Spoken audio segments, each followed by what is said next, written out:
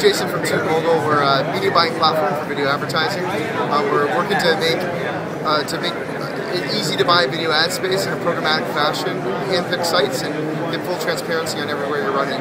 Uh, really trying to automate the, the media buying process, make it a lot easier.